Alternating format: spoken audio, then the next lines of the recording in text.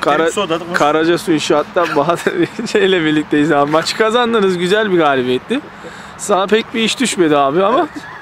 Ayağına Sağ arkadaşlarım. Ederim. Şöyle bir iki pozisyonda onu da kurtardık işte.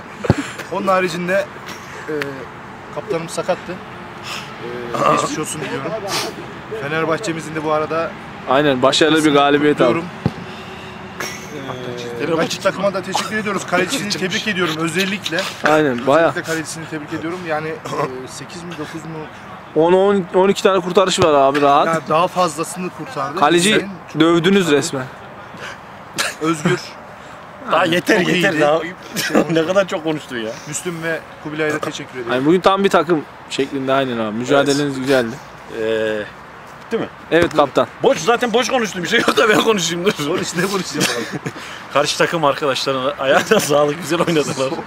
Kalecileri çok iyiydi. Tebrik ederim kaleci gerçekten. Süper kurtarışları vardı. Bizim kalecimiz de iyiydi. Emektar. Emeklilik zamanı geldi. Kubilay süperdi. Müslüm harikaydı. Defans 10 numaraydı. Özcan hakkında bir şeyler söyleyecek mi? Özcan süperdi. Ee, maçı- Özgür. Özgür 10 numara 5 yıldız. Az önce söylemiştim. Ee, Aramızda kalsın da ilk defa 3 bu kadar iyi 3 oynadı senede ya. 3 senede 4 gol attı. Bunun 3'ünü bu maçta attı. Tebrik ediyorum. Tamam ya. Şey, Abi. Özden, Özden abi hakkında konuşalım biraz da. Özcan Özcan 2 top kaçırdı. Onlar da gol 10 oldu. tane şut çekti 11 de adamdan döndü. Teşekkür Özcan da ediyorum. iyiydi. Karşı takım arkadaşlarına da ayağına sağlık. Teşekkür ederiz. Başarılar Devam edeceğiz diliyoruz. Aynen abi. Biz de devam Ayağınıza sağlık iyi akşamlar abi. Ne la o?